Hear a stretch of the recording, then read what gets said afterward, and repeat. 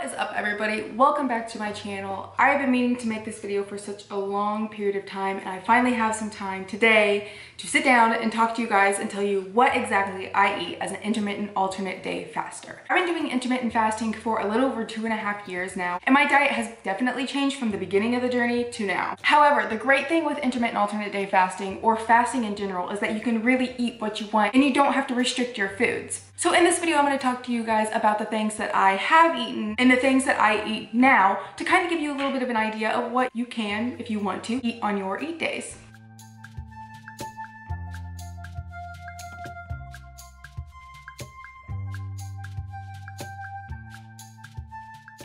Thing we're going to talk about today is breakfast. And I'm going to talk about to-go breakfasts because there's a lot of people who have to go to work every day and don't necessarily know what to bring for work in the morning. Sometimes they stop and get fast food on the way in. Sometimes they might grab something at the office cafeteria or whatever it might be. But I'm going to give you a couple of examples of things that I did whenever I worked in the office and I needed something that I could make the night before that I could take with me the next day to work. The most common thing that I ate on my eight days whenever I work in the office was overnight oats and they are so simple and easy to make and I'll tell you why. Basically, all you need is a simple yogurt. I love the Greek yogurt Light and Fit. It's about 80 calories. You take one of these, a half a cup of old-fashioned oats, a half a cup of milk of your choice. I personally prefer to use almond milk for the calorie count and it tends to last me a lot longer than dairy milk, which is something that I don't really drink. And a teaspoon of chia seeds. You mix all those ingredients up in a bowl, set it in your fridge overnight, and the next morning you have a nice little quick breakfast you can grab before you go to the office. Another thing that you can also make that I particularly was very fond of, and still kind of do sometimes to this day,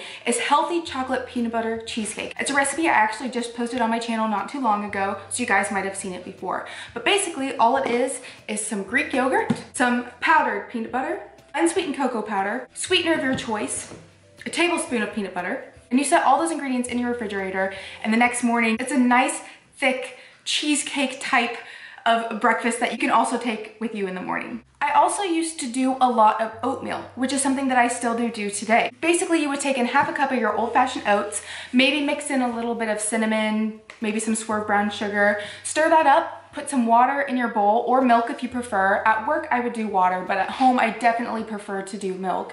Put it in the microwave and heat it up. It is so much more filling and satisfying than those little instant packs that you can get in a package. Plus, this will take you a lot longer than those little instant packs and you can really make it however you want that way. Another option for breakfast would be something as simple as cottage cheese and berries or yogurt and berries. You could also do something like meal prep some breakfast sandwiches if that is something that suits your fancy. One of the big things that I also used to make and is a recipe that I still use to this day as well, would be two ingredient dough. You can make bagels with that and all it takes is a cup of self-rising flour and a cup of Greek yogurt. You mix those together, knead it out into a dough, and then make your bagel forms with it. They're so tasty and so dense, definitely better than something that you would get at a grocery store that's half full of air. And those would be some of my to-go breakfasts for the morning if you're working at the office. Now, if you're at home, you have a variety of things that you can do in the morning for breakfast. My biggest thing recently has been the protein pancake mixes. I love these because a half a cup is 190 calories, which basically, if you cut the recipe in half,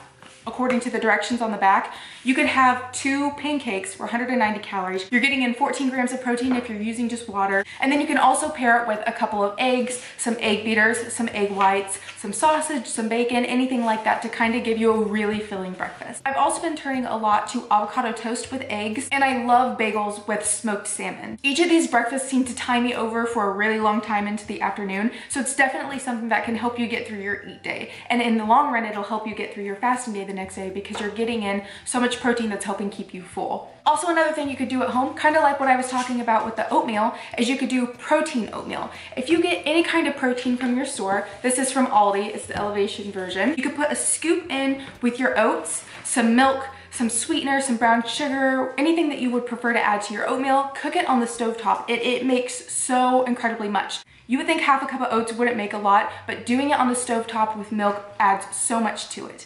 I love topping it with a banana or some fruit. And I've also added in some Greek yogurt as well to give it a little bit of a more creamy texture if you like creamy oatmeal. I also recently made a recipe using Thin Slims Foods zero carb bread that is 90 calories for two slices and they have zero carbs in them. A lot of people have asked me what the consistency is like of this bread and I personally do like it. I think it's better if you toast it or maybe do something with it besides eating it plain, but throwing it onto the skillet or dunking it in some milk and eggs for some French toast has also been a really good breakfast that I've been able to enjoy recently. Something like that, if you don't want to use a really high calorie topping, you can throw some fruit on top, you could throw some peanut butter on top or some almond butter. I personally prefer almond butter, which is something else that you could add into your oatmeal. Or you could get the Lakanto maple syrup, which is one of my favorite monk fruit syrup sweeteners. Or you could also get the Birch Benders magic syrup, I believe it's called, which is also a really good alternative to straight maple syrup.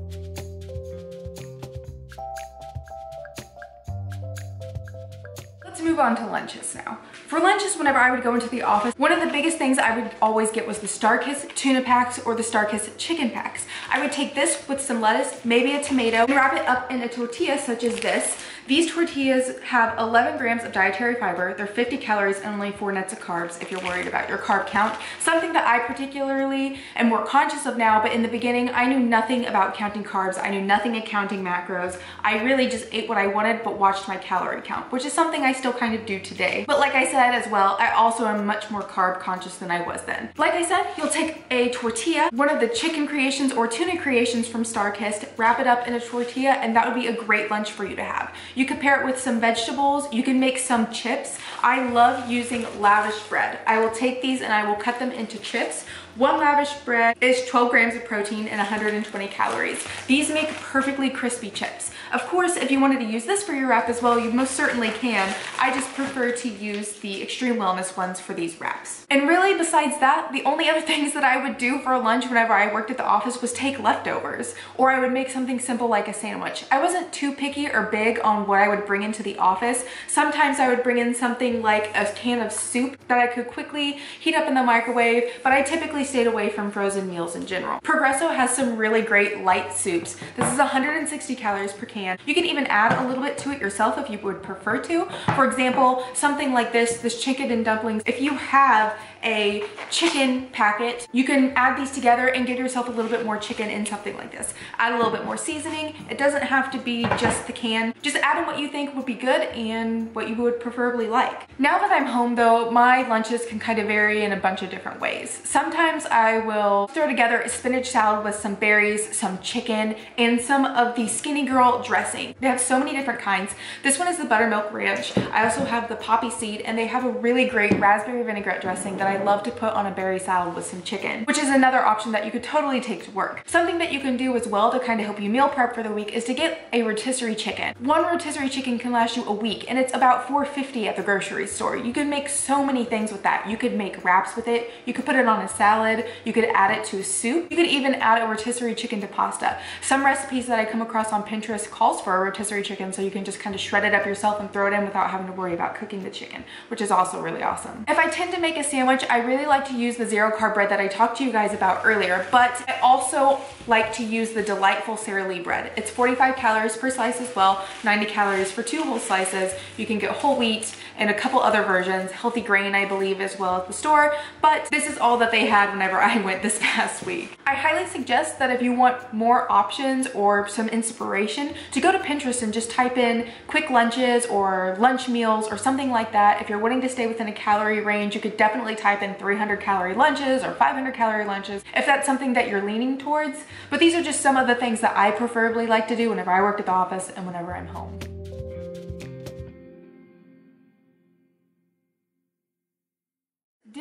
Always a really hard one for me to answer whenever people ask, what do you eat as an intermittent alternate day faster? Because I'm a foodie and I love to eat everything. So with that being the case, my meals are always changing and I cannot give you a specific thing that I eat at dinner time. Something my fiance and I have really been enjoying recently has been a spicy vegan gnocchi meal that includes spinach, pasta sauce, and some white beans. Really all it takes is some gnocchi, some vegan meatless sausage, I get this at Aldi, pasta sauce, which you can either make it as spicy as you like or you could get something not as spicy. Like I mentioned before, white beans and spinach. Make a meal with that really quick and it will last you a while. It is super filling and also super tasty. If you have a big family, I totally understand how pasta can go a long way too. Some of my favorite pastas to get whenever we do eat pasta would be something like the Banza pasta. It's made from chickpeas, totally full of protein, so it also is very filling and a lot better for you than most pastas that you can see on the shelf. I like to do this or a whole wheat pasta as my carb,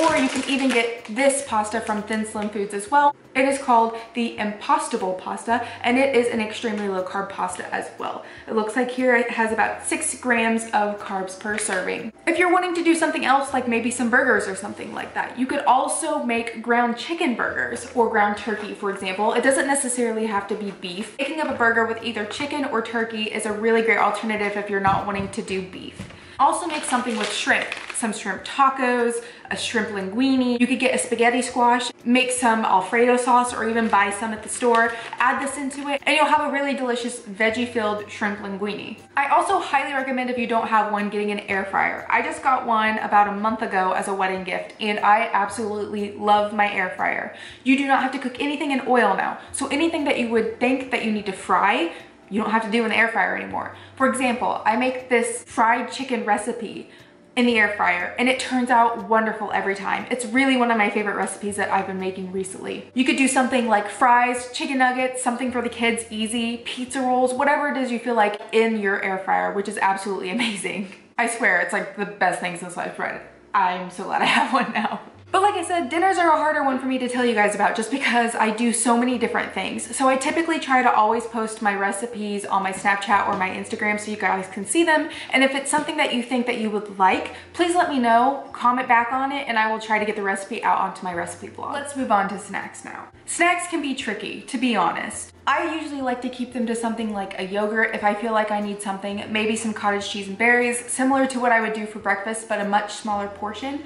Or you could do something like yogurt covered cranberries. These are one of my favorite snacks. I don't like raisins, but there's something about cranberries that I really like. One package of these, I feel good. You could also do something like mixed nuts. My fiance and I love deluxe mixed nuts. We go through so many of these. But the bad thing about them is that they are definitely higher in calorie and you don't get a lot. So that's kind of something that you need to think of. Kind of like the same thing as the yogurt covered cranberries. Both of them are pretty small portions, but for pretty high calories. So recently what I have been doing is taking one of my tortillas, a banana, and some peanut butter kind of making like a banana peanut butter burrito. You can either chop it up or eat it like a burrito and have that as a snack and it should help you get through the day. It is super filling. You could also do kind of like what I said, make some lavish bread chips, eat some fresh berries, some fresh fruit, some fresh vegetables even. Those are really healthy good snacks that are actually gonna fill you up and they're lower calorie than if you were to turn to something like a bag of Doritos or something like that. But I will say to each their own. If you prefer to snack on Doritos, go for it. That is the wonderful thing with intermittent fast. You can really eat what you want. I personally prefer to be a lot more healthier in my choices now than I used to be, kind of like what I said at the beginning of this video. But as long as I keep everything within my calorie count or at my TDEE, total daily energy expenditure, then I don't really mind what it is that I'm snacking on. Like I said though, I do try to keep it a lot more healthier so that way my calories go further. With that being said, we're gonna talk about desserts. Everybody likes a good dessert. I absolutely absolutely love lemon flavored things. So when Easter came around and they brought out the lemon Kit Kats, your girl was sold. She wanted to eat all those lemon Kit Kats. I don't want you to think that you have to eat 100% healthy all the time with this. You are human and it's okay to find balance. It's okay for you to eat cake. It's okay for you to eat cupcakes. Of course not every day, but in moderation, sure. There's no harm in that. With that being said though, I do like my ice cream as well. I love Breyers Carb Smart Ice Cream. They have a vanilla and a chocolate, and I believe about two thirds cup is about three grams of carbs, which is pretty low. Plus the calorie count is significantly lower than the normal Breyers ice cream. You could also try the Halo Top, the Rebel, the Skinny Cow. There's so many different brands of ice cream out there now that kind of leans to being a little bit less sugary and more healthy for you if you're craving a dessert. Something that I recently found at Target were these Miss Jones Baking Co. cake in a cup. I know some people really like the little cakes and mugs and stuff like that, but these cakes in a cup come to 170 calories for the warm double chocolate one, or you could even get a confetti pop one for 160 calories. They're definitely a nice little treat to have after dinner if you're craving something a little sweet. I also tend to really like the Lenny and Larry Complete Cookie. They have a bunch of different versions of this as well. Chocolate chip, snickerdoodle, the triple chocolate one I believe it's called. You put that in the microwave on a plate for a little bit and warm it up and it is so incredibly good. Put some ice cream on there and you got yourself a freaking delicious little dessert. and then of course they have protein packed muffins from Kodiak Cake, just like the protein pancakes that I showed you earlier. This is also a really good alternative if you're wanting something sweet. Something else that I really like doing recently is adding protein powder to yogurt, mixing it up and putting it in the fridge. Kind of like what I talked about earlier for that chocolate peanut butter cheesecake. That can also be a really good dessert for you as well. It's packed with protein and it'll definitely help keep you full through your fasting day the next day. So there you guys have it. That's just some examples of things that I do for my meals during the day, plus my snacks and my desserts. There's so many things out there though that you really don't have to fear what it is that you're eating. I hope that makes sense. With intermittent fasting, you can really eat whatever you want as long as you're within your calorie count and you're not overindulging and doing things like the cakes, cupcakes, sweets in moderation. Feel free to follow my Pinterest board if you're interested in seeing any more of the recipes that kind of have given me some inspiration to the meals and things that I have eaten. And like I said, if you follow me on Snapchat or Instagram, I try to post all of my meals on there as well so you guys can also kind of see what it is that I'm eating for my three meals during the day. Now I know some of you guys probably have questions. One of them would probably be, well, what do you eat on your fasting days?